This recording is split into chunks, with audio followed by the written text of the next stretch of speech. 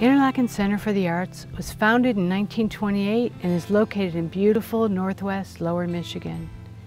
Each year, thousands of young artists and arts patrons come to Interlochen to experience world-class educational and cultural opportunities.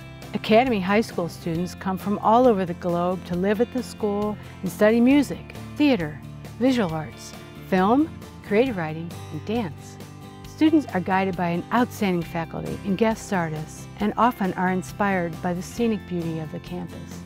This year, we have a collaboration between the Visual Arts Division and ecology classes. We are exploring forest regeneration and making art in the woods in response to what we're learning in the forest. Students are exploring conservation issues between art and science, studying the critical role forests play in the delicate balance of nature and we are thrilled to be joined by guest artists Daniel McCormick and Mary O'Brien.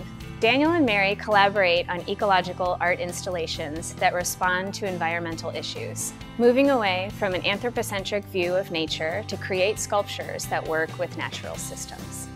It's an exciting project and we hope you'll follow along with us as we explore the connection between art and science in the ongoing transformation of our beautiful red pine forest.